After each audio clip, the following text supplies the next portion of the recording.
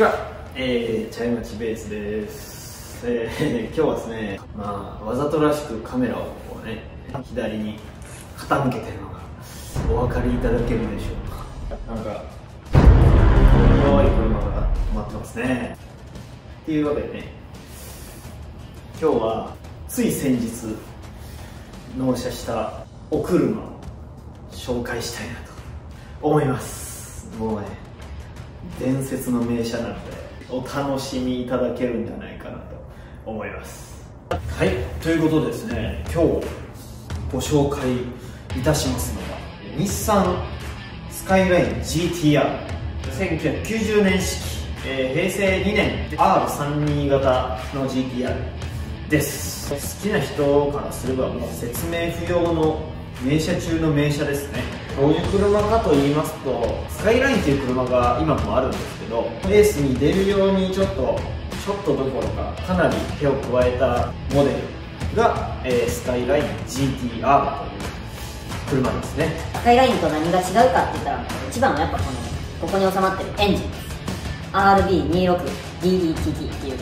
2.6リッターのフレスロッキーとツインターボで活用している。完全にドノーマルです。もう本当に車高下げてないしホイールもそのままだし何も手を加えられてない。まあこのフォグランプがついてる。この辺の角度ですかね。やっぱり効いてるなって思うのがここがこうバーンとこう出て向こうがも分かります。こうダーンとこう出てますよね。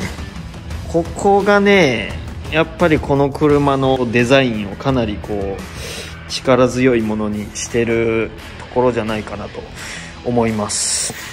この横ルーバーはもうこの台だけですね。あのー 3R33R34 とかってなるともうここにもう大穴が開いちゃってあのここにでっかいエンブレムが来ることになるんで。でこのこの S のマークも確かこの32だけだったと思います。ここの線がこう2本モリモリっとこう入ってるのがお分かりいただけますかね。もうあの大きいエンジンが入ってるぜっていうのを。静かにアピールしてるようなそんなデザインですね。はいこれがケツです。もうこのなんといってもこれ丸4テール、はい、これが32というかスカイライン GTR の伝統のテールランプ。もう説明不要のデザインと言ってもいいんじゃないですか？誰が見てもかっこいいでしょうこれは。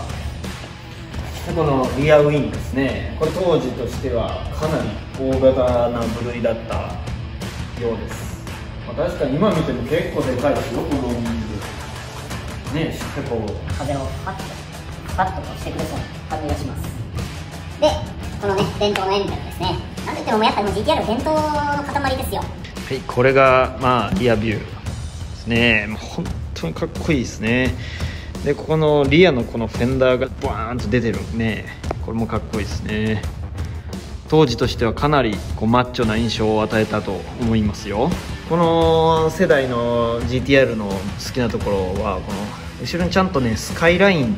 僕はスカイラインですよっていうのをね控えめに言ってるところですね。マフラーも純正がついてて変えられた痕跡は一応見受けられないという感じですね。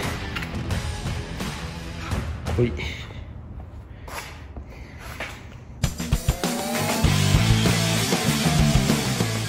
渋いハンドルがついてますよ。本当に。はい。こういう感じで収まります。でメーターこんな感じです。もう本当ねイニシャル D で見たまんまと言いたいとこなんですがイニシャル D のたけしさんの車はねあの V スペックなんですね。だからこうちょっとホワイトメーターになってたりしてあれはずるいっすね。これが水温計。あこれが油圧。それからこれがあのアテーサ ETS が作動した時のフロントにどんだけこうトルクが分配されたかっていう。でこれがまあ燃料ですね。でえーレッドは7400か500ぐらいで切ってあります、えーこちらが電圧計。それから油温計。でこれがブースト系ですね。でこれねクラッチですがめちゃくちゃ重たいです。まあさすがにその名機と言われる RB26 のパワーを受け止めるには強力なクラッチが必要だったんでしょうね。本当に重たいですでシフト。ここんな感じでまあすっきり入ります。コークピットに収まってみた感覚としてはここのねボンネットの感じちょっと高くてでここのピラーの立ち上がりも結構ね急なんですね。で天井が高いもんですからあまりスポーツカーに乗ってる感覚っていうのはないですね。でまあちょっとこの32のインテリアの弱点はドリンクホルダーがねないんですよね。ここにもないしこの辺にもないしここにもここにもないし。どこにあるんかなと思って探したらねここなんですね。こんなとこにあっても邪魔なんですよこれね。多分まああんまりデートとかそういうナンパなことに使うんじゃねえぞっていうまあ硬派な日産からのメッセージなんでしょうね。はい。いかがでしたでしょうか？今日はまあちょっとね熱く語りすぎてですね、まあ、エンジンルームとかこうエンジンかけた時の音とかそういうのもねお届けできたらと思ってたんですけどちょっとね熱弁が過ぎたですね。でももうそろそろあのビールを飲まないといけない時間なので今日はもうここまでです。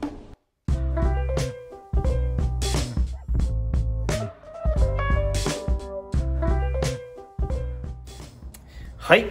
そしたらですね今日もこの時間がやってまいりました。まああの SR の企画が終わってあの今日はなんなら作業してないし車について喋っただけだから作業後の一杯みたいなそういうあれはないだろうって思ってる人が多いかもしれないです。終わりませんよこの企画は。はいいや早速そご紹介いたします。本日はですね Odin Brewing の、えー、 Galactic Space Dragon IPA これはねえっ、ー、とあそうそうシアトル。シアトルで生まれたビールなんですけど今はあのバンクーバーで作ってるんで一応表記はあのカナダ産っていう風に書かれてます。えー、っとねまあ飲んでみましょうか。ね。あお綺麗な色。ヘイジーでこうねドロッとしたのが割と続いてたんですけどこれはねまだ良心的いや嘘結構濁ってるなこれ。あこれすごいな。なんかねちょっと沈殿物が浮遊してますね。うわこれはどれだっとんで早速飲んでみます。あいい匂いしますよこれ。ちょっとこう僕の好きな柑橘っぽい感じですね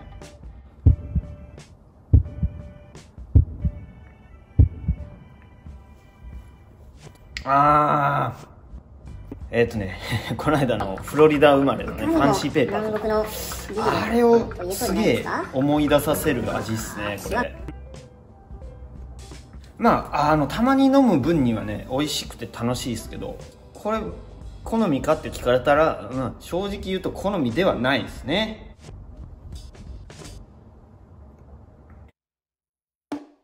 まあどんなビールかっていうと香りはオレンジみたいなああいうのをちょっと想像してたんですけど味はねもうマンゴーマンゴージュースですね。でもお酒ねよく飲む人ってあのチューハイとかをあんなジュースあんなのジュースじゃとか言ったりしますけどこれはねあのちゃんとビールはビールなんですよ。ビールはビールなんですけど僕が飲みたいビールかと言われたらそうじゃないっていうだけのことです。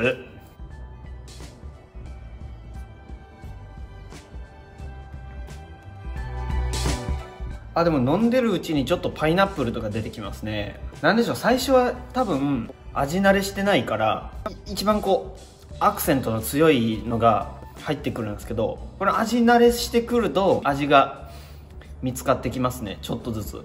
こういうね個性があるからビールは面白いんですね。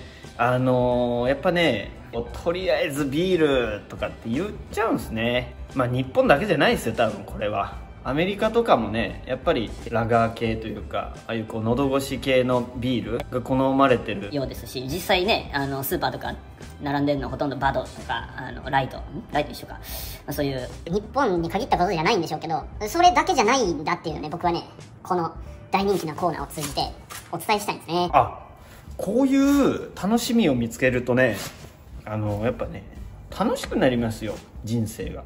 QOL が上がるっていうんですかねこういうのね。上がるんですけどやっぱね抜け出せなくなるんでね。うん、マンゴーです。You know just because you